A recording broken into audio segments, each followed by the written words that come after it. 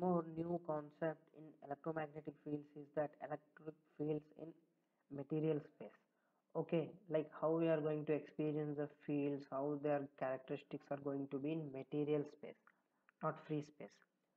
So okay the conductivity of metals in general increases with decrease in temperature. So that is for metals okay.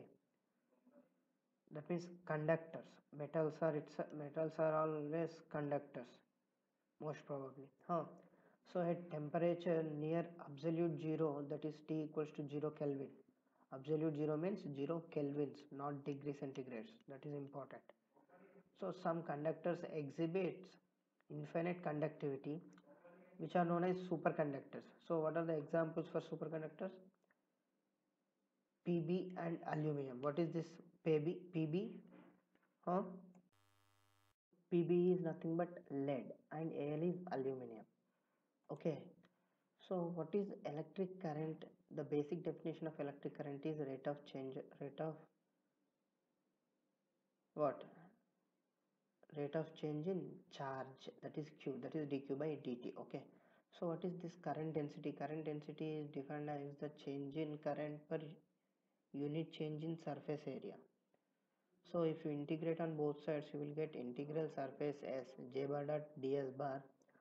So this current density is different depending upon how current is going to produce in different materials. Like conduction current density convection current density and displacement current density. So we are going to see about the characteristics of conduction and convection current density. Now here the leftmost line is of conduction current density. And the next line to that leftmost line is for convection current density. So coming to the convection current density j that is it does not follow or satisfy ohm's law because it does not involve conductors or conduction current. That's why it is calling as convection current density okay it is different from conduction because there are no conductors involving in the current of convection current density.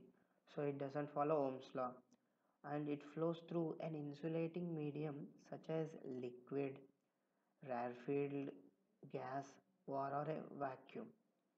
Okay these are important for theoretical bits. Okay then coming to the leftmost uh, wait wait then a general statement is that current density at a given point is the current through a unit normal area at that particular point.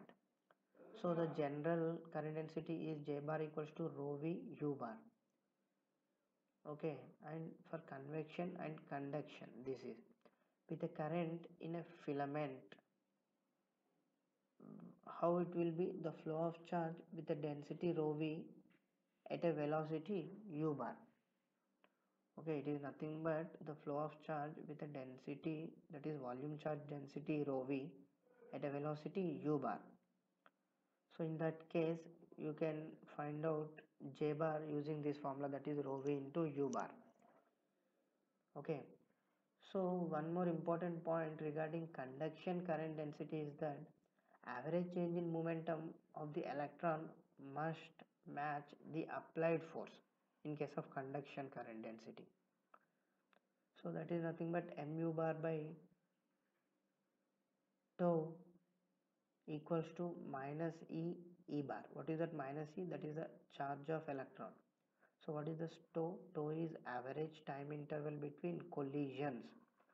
So from this you can get u bar equals to minus e tau by m into e bar.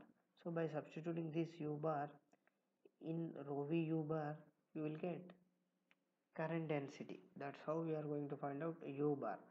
So this relation is for getting formula for u bar. Right. Thank you